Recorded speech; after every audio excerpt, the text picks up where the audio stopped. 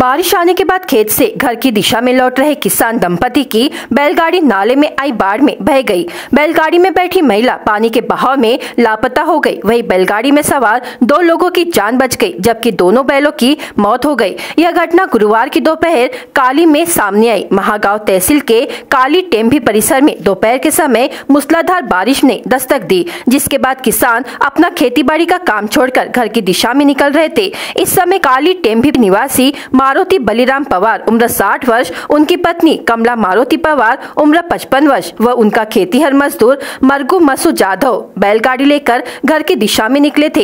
इसी समय नाले में अचानक बाढ़ आने से बैलगाड़ी पानी के तेज प्रवाह में बहने लगी। बैलगाड़ी जैसे ही बहने लगी, उसी समय दो लोगों ने बैलगाड़ी से छलांग लगाकर अपनी जान बचा ली, लेकिन अचानक आई बाढ़ से पूरी तरह से बेखबर कमलाबाई बैलगाड़ी के साथ पानी के तेज बहाव में बह गई। कुछ दूरी पर दोनों बैल मृत अवस्था में पाए गए, लेकिन बह गई महिला का पता नहीं चल पाया। इस घटना की जानकारी तहसील प्रशासन व पुलिस प्रशासन को दी गई है।